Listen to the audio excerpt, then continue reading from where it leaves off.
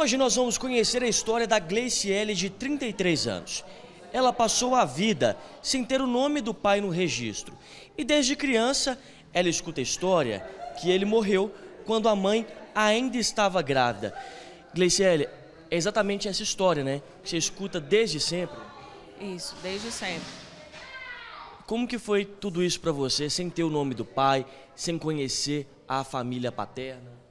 É muito triste, né? Fica assim, sempre um vazio, né? Aquele vazio de não ter o pai no documento, né? De não conhecer a família.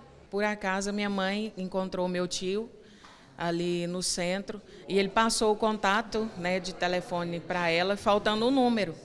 E a gente fez ali uma tabela de 60 números, salvou todos, né, e procurou no WhatsApp. Como ele trabalha na Comurg, né, e tinha fotinha do, no WhatsApp dele, da Comurg, do caminhãozinho da Comurg, e falou, só pode ser esse.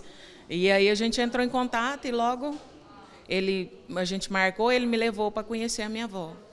Como é que foi esse encontro? Foi uma benção, muito emocionante. E aqui está a dona Josefa, a suposta avó. Ô, dona Josefa, a senhora perdeu seu filho há aproximadamente 40 anos, né?